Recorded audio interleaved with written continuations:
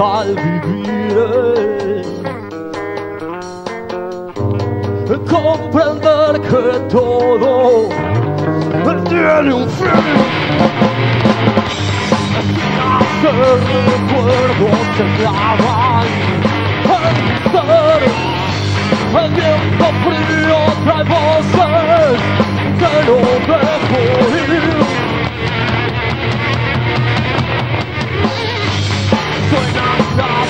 Campanas por los que hoy no están. Mundo del espíritu es salir de vida la muerte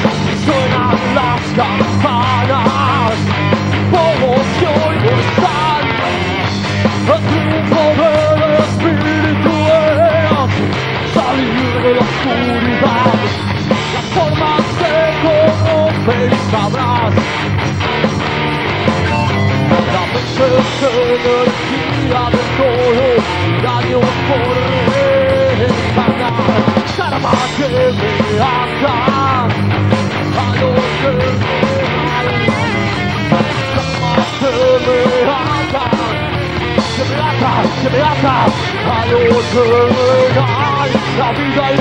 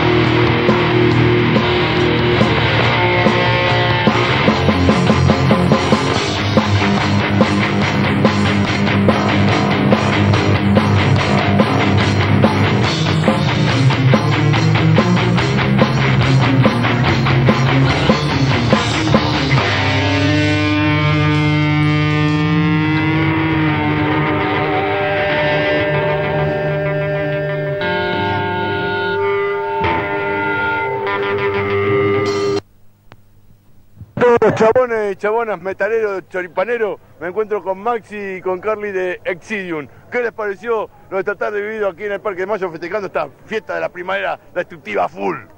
Bueno, ante todo, buenas noches a la audiencia choripanera y no, me pareció muy copado, estuvo lindo. Además, copado que la municipalidad se pone las pilas para organizar este tipo de eventos, siendo que nuestra música tal vez no es tan popular y bueno, mata que se haya armado un escenario donde toquen bandas de metal, porque si era por la municipalidad hasta hace un par de años no ibas a pedir algo y nos daban una patada en el orto, así que está bueno, está bueno que la municipalidad apoye también al heavy metal de Bahía, así que estamos recontentos por eso. Amén del hecho de que también que bueno que tocamos y, y salió todo bien. Felices, felices, felices. Estamos cansados, pero bueno, eh, la verdad que el día acompañó mucho, la Sí. gente también bastante. Ojalá hubiese este marco de público en todos los recitales. Que ves por ahí muchísimas remeras negras con hermética, el más fuerte, lo que sea, y, y el día del recital tenés muy poca gente, pero bueno, esto sirve para eso, ¿no? Para hacer, para hacer eh, conocer la propuesta a gente que por ahí no tiene el alcance o desconoce eh, lo que es la movida under local. Así que esto es muy... eh, Eso es lo que más rescatamos, lo positivo de festivales al aire libre con gente que por ahí está justo pasando y ve y le gustó y por ahí se prendió. Así que aprovechamos más que nada para eso nosotros. Así que estamos felices, mucha gente. Sí, sí, estamos muy contentos. Además el sonido estuvo también estuvo bueno, así que estamos contentos por eso también. Y ahora se viene la fecha del 8 de noviembre con razones conscientes y letanía. Exactamente, el 8 de noviembre estamos muy, muy ansiosos por eso, estamos laburando ya para que salga todo bien y la gente disfrute de un buen, de un buen show. Eh, no solamente nosotros, sino que el restaurante salga todo bien, así que, bueno, sí, el 8 de noviembre queda, queda tiempo todavía, pero no tanto, o sea, es relativo. Claudio, y, todo lo que quieran decir, acá los micrófonos de Choripán están a disposición para lo que quieran decir nomás. No, bueno, lo, de siempre, gracias, gracias por, por, seguir difundiendo, gracias por seguir aguantando. Y bueno, siguen adelante con la radio y, y gracias por estar siempre cubriendo todos los eventos y no, nada más que gracias. Gracias. Bueno, gracias y aguanta Exidium. Todos en capilla. Uno, dos, tres, ya. Rock and roll furioso, ya. Un poquito de retorno de la voz. glorificare Jehová, porque me has exaltado y no permitiste que mis enemigos se alegren de mí.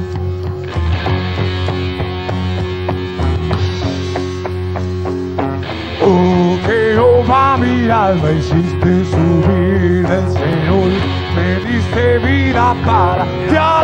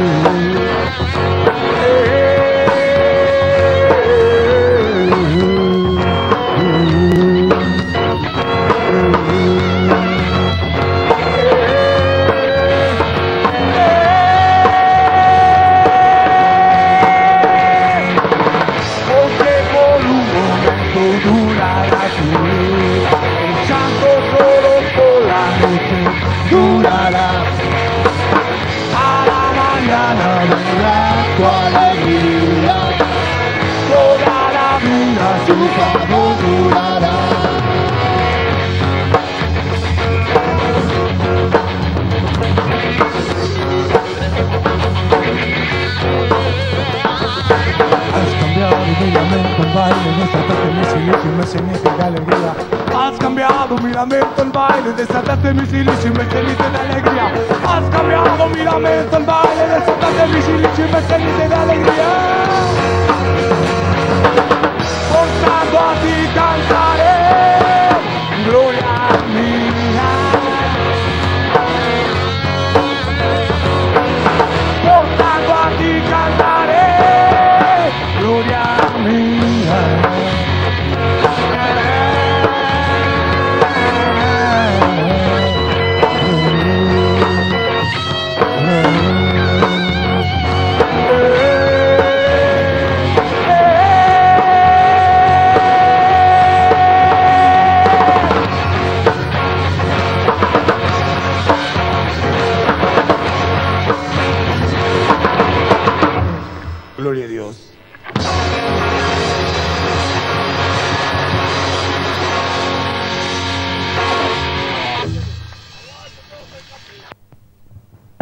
Para toda la movida choripanera, me encuentro con Ángel, guitarrista y vocalista de esta gran banda, todos en capilla.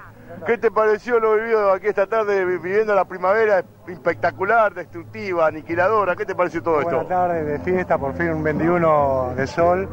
La verdad que me divertí mucho, muy buenas bandas, muy, muy buena calidad de músicos y bueno, un placer haber tocado en, la, pla- en el parque. ¿Cuánto hace que está formada todos en capilla y los integrantes que la forman actualmente? Eh, los integrantes son eh, Raúl Buono, Javier Medici, eh, Nicolás Genaro y Gabriel Barragán. Hace un año más o menos que estamos tocando. ¿Por qué todos en capilla? Y porque llegaban tarde al ensayo, casi todos. Y llegó uno, llegó tarde otro. Y bueno, así decíamos, este está en capilla, este está en capilla, hasta que estábamos todos en capilla porque todos bardeaban. Así que bueno, así quedó el nombre. Bueno, y todo lo que vos quieras decir, lo que esté a tu alcance, los micrófonos Choripán Rock están a tu disposición Bueno, para lo que vos eh, quieras que decir. Dios los bendiga a todos y bueno, paz para todos. Bueno, gracias. Y aguante todos en capilla. La Carbonera. Uno, dos, tres, ya, ya. Para toda la gente la movida choripanesca, me encuentro con el Popo, vocalista de esta gran banda La Carbonera. ¿Qué te pareció lo de tratar de video, viendo la, la primavera full, destructiva, aniquiladora? ¿Qué te pareció todo esto? realmente una masa, la gente se portó re bien, nos bancó re bien, este, un aguante terrible, un- una tarde de fiesta. Para la gente que no conoce realmente todavía, eh, ¿cuánto hace que está formada La Carbonera? Mirá, nosotros llevamos ensayando más o menos 4 o 5 meses. Lo que pasa es que algunos de los músicos ya nos conocíamos de, de otras bandas, entonces ya fue más fácil el ensamble, digamos. Este, lo más novedoso es el Tony Blues, que es el tecladista que estaba en, en La Plata y, y bueno, llegó y, y en función de él este, formamos la banda. La verdad que está saliendo algo diferente y algo lindo, qué sé yo. ¿Y la formación actual de La Carbonera? Bueno, está Tony Blues en teclados, el Lee en segunda guitarra, guitarra rítmica, en primera guitarra Panchi Romagnoli. Eh, ¿Qué me queda? Eh, en el bajo Fabio Lea, en la batería Daniel Roca y el Popo cantando, ladrando, como siempre pasando vergüenza, pero bueno, todo bien. ¿Por qué La Carbonera? Lo que pasa que, bueno, sur- surgió de una manera muy curiosa. Ahora, el nombre fue aceptado porque los negros en la época en que se cantaba este tipo de blues, o, o recogían al- a- algodón, juntaban algodón, o laburaban en las vías de ferrocarril, o en los trenes paleando carbón. Entonces, no- nos, pasó, nos pareció que tenía, tenía mucho que ver con lo que hacíamos, qué sé yo. Parece, parece bueno, qué sé yo. Bueno, todo lo que vos quieras decir, lo que esté a tu alcance, los Bueno, le quiero dar- Choripán Rock están para que vos digas. Yo le quiero dar un, un- mandar un abrazo grande a Palito, de agradecerle la oportunidad de haber estado acá. Choripán siempre se porta 10 puntos con los músicos de acá. Bueno, más que nada eso y, y- y mucha mierda. Bueno, muchísimas gracias y aguante la carbonera.